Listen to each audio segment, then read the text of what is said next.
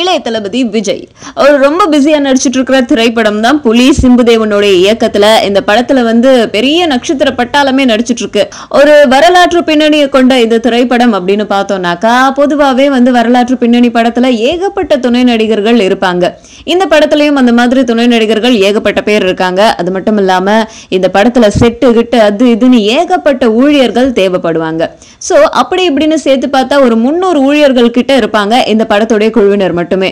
அவ்வளவு பேரையும் வச்சு நம்ம விஜய் பொங்கல் பண்டிகையை கொண்டாடி இருக்காரு பொங்கல் பண்டிகையை கொண்டாடினது மட்டும் இல்லாம எல்லா ஊழியர்களுக்கும் தங்க நாணயத்தை பரிசா கொடுத்திருக்காரு.